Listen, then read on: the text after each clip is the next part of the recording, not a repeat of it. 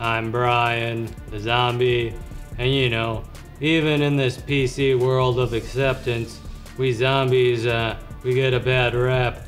But truth be told, bagel bites are a lot more hazardous to your health than zombie bites. There's a horror movie I'd like to see the childhood obesity epidemic. Anyways, today the drink I'm gonna teach you how to make is called the Zombie Bite Cocktail.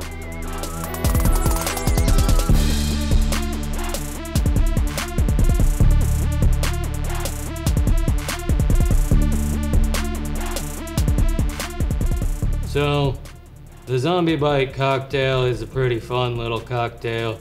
You start with a cocktail glass rimmed with sugar, just like your mouth gets rimmed with blood after you hunker down on some of those juicy brains.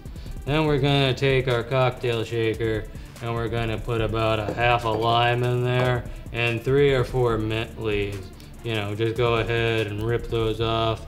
Choose the best mint leaves that you can find.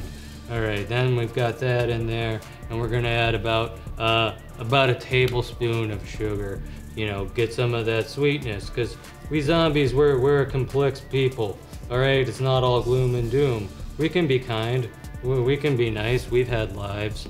All right, put that in there, and then we're gonna muddle that all up. You know, really let those those essences out. Right? Hey, is uh is anyone still alive in there? Huh? You're not gonna find out until next season.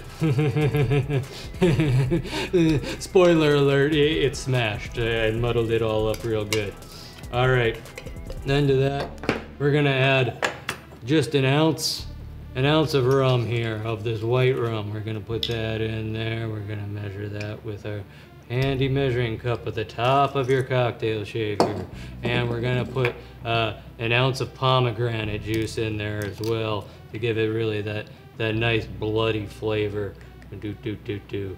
Uh, perfect, all right. Then we're gonna shake all that up real nice, get it nice and, oh, we should put some ice in there though, right? Because otherwise no one likes warm brains, it just drips everywhere. Let's put ice in there. Uh, some things escape your clutches occasionally. Alright, now that we got in that all shaken up, we're gonna give it a nice slow brains and I mean strain into the glass. And don't rush it. We zombies, we're not rushers. Take your time with it.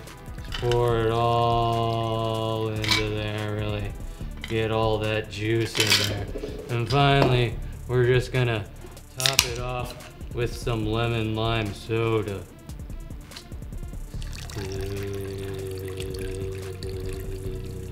And let it fizz up.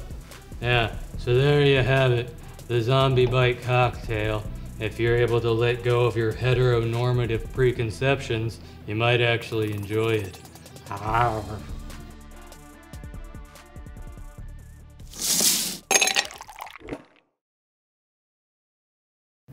Arr. I'm AJ. Thanks for watching the videos. Hope you're having a good Halloween uh, and having a having a drink or treat.